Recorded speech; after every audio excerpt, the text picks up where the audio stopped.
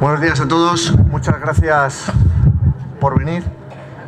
Creo que hoy las protagonistas principales son las mujeres y de verdad creo que tienen que centrar, tiene que centrar la intervención principal de este acto, tanto la concejal de Igualdad, así como las representantes de la entidad Avante 3, a las que agradezco mucho ese paso al frente que han dado para intervenir hoy aquí.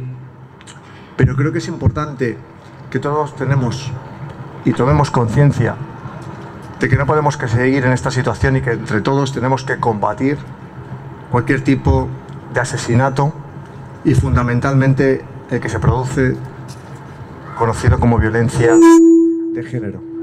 Nadie por el mero hecho de ser hombre puede abusar de su situación de fuerza frente a una mujer. Creo que no es justo.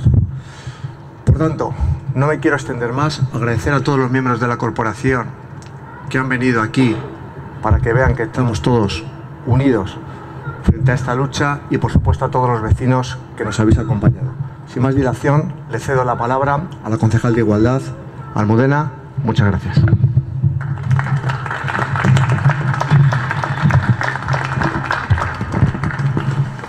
Bueno, buenos días. ¿Me alejo, David? Buenos días a todas, buenos días a todos y muchas gracias por acompañarnos. Alcalde Miguel Ángel Recuenco, primer teniente de alcalde Carlos Delgado, concejales del Gobierno y de la Corporación, representantes de las casas regionales, de las asociaciones, de las entidades y colectivos de distintos sectores de nuestra ciudad, por supuesto a Paula y a Valentina de la Asociación Avante 3, quienes van a leer a continuación el, el manifiesto, las trabajadoras del área de igualdad y de otras áreas municipales y sobre todo mujeres, hombres, jóvenes que habéis venido a este acto para manifestar vuestro rechazo hacia algo eh, tan obligado de erradicar como es la violencia contra la mujer. El lema que desde el área de igualdad del Ayuntamiento de Leganés se ha propuesto para este 25 de noviembre, Día Internacional de la Eliminación de la Violencia contra la Mujer, ha sido, como se puede leer, Respeta a mi cuerpo. En 2022 se realizaron en torno a 300 atenciones a mujeres víctimas de violencia psicológica en el punto municipal del Observatorio Regional de Violencia de Género de nuestro ayuntamiento. Cerca de 200 atenciones relativas a violencia física, 100 de violencia sexual, otras 200 sobre violencia económica, varios cientos tenían que ver con el control social de sus parejas y los datos de 2023, aunque no están publicados, no parecen ser mejores.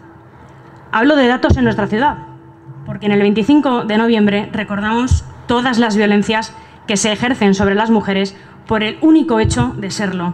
Esa violencia específica que hasta se ha normalizado. Hablamos de respetar el cuerpo de la mujer,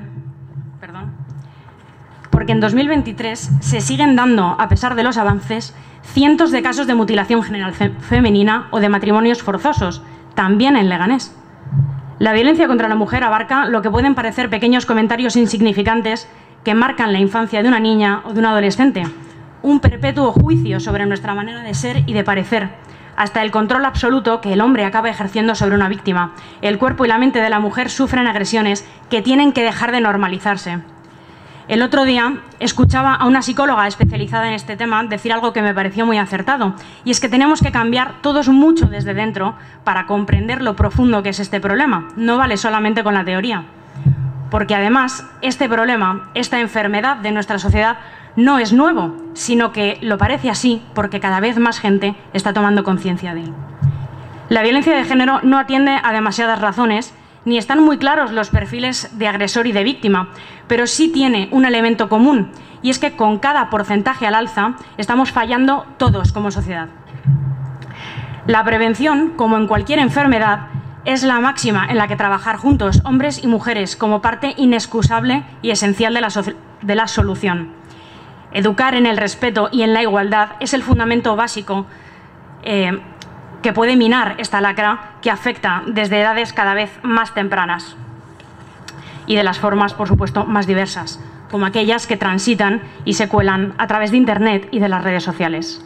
La sociedad en su conjunto tiene que empujar desde cualquier ámbito y desde cualquier lugar en el que os encontréis para lograr este objetivo común, que es terminar con la violencia que se ejerce contra la mujer. Muchas gracias. Buenos días.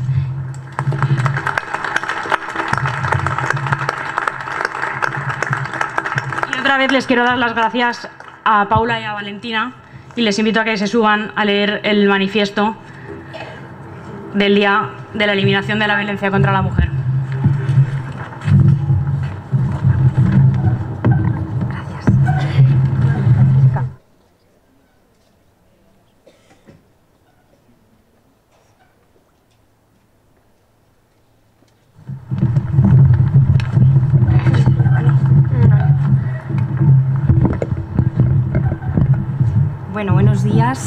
Eh, vamos a leer eh, la declaración institucional de la Federación Española de Municipios y Provincias con motivo del 25 de noviembre, Día Internacional de la Eliminación de la Violencia contra la Mujer. Hoy, 25 de noviembre, conmemoramos el Día Internacional para la Eliminación de la Violencia contra la Mujer y queremos recordar con conmoción y afecto a todas y cada una de las mujeres víctimas, a sus hijos e hijas, tan víctimas como ellas y a sus familias. Nuestro recuerdo está en las más de 1.236 mujeres que han sido asesinadas en España desde 2003 como consecuencia de esta terrible violencia, máxima expresión del machismo, y en los 428 niños y niñas que han quedado huérfanos desde 2013. En lo que llevamos de año ya son 52 las mujeres que han sido asesinadas por sus parejas o exparejas, un número de víctimas superior al de cada uno de los tres años anteriores. Una realidad durísima que cualquiera que haya tenido contacto con la violencia machista directamente o a través de la labor de otros bien conoce. También hoy y todos los días del año manifestamos nuestra eh, condena absoluta ante la violencia de género, porque los maltratadores no tienen cabida en nuestra sociedad. Reafirmamos el compromiso de los gobiernos locales con la erradicación de la violencia de género. Solo terminaremos con este tipo de violencia eh, trabajando unidas. Todas las administraciones el Poder Legislativo y la Fiscalía General del Estado, las fuerzas y cuerpos de, seguridad, las organizaciones sociales especializadas en violencia de género, los medios de comunicación y el conjunto de la sociedad. Es un problema de Estado que debe tener respuesta de, de Estado.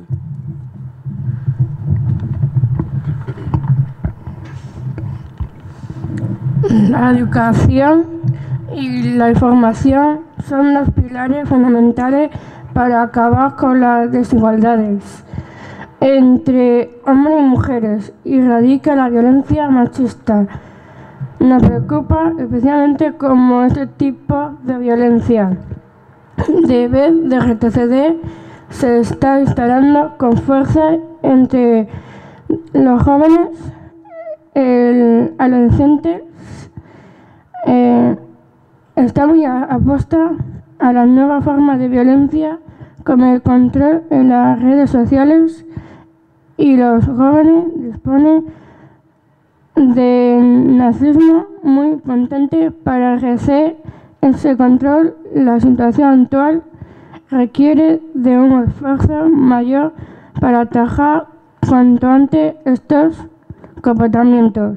Además, las redes sociales y el uso irresponsable de Internet expone a los jóvenes a la forma de grave de vulnerabilidad y violencia con la explotación sexual o consumo de pornografía. Hace años, España ha venido dando importantes pasos para eh, combatir la violencia machista de manera firme y con públicas. El Estado, así fue eh, posible la ratificación en 2014 convenio de Estambul Gran eh, recuerdo eh, supuso el pacto de Estado contra la violencia de género en 2017.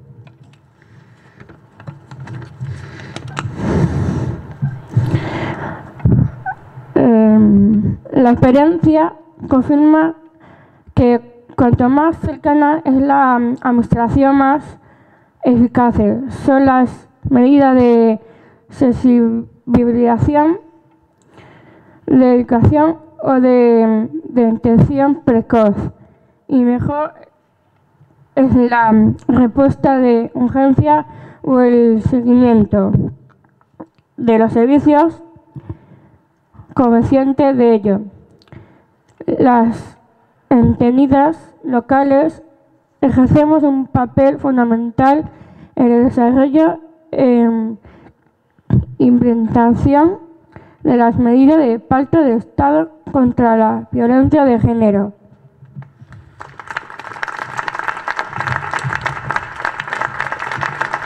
Muchas gracias.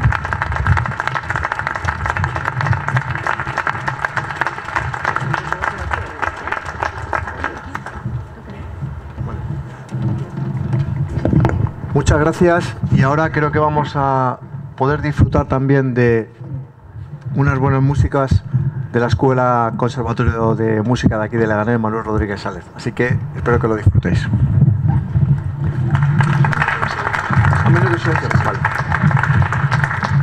Vamos a guardar un minuto de silencio por las mujeres víctimas de violencia de género de este año y de todos los anteriores en España y en el mundo. Muchas gracias.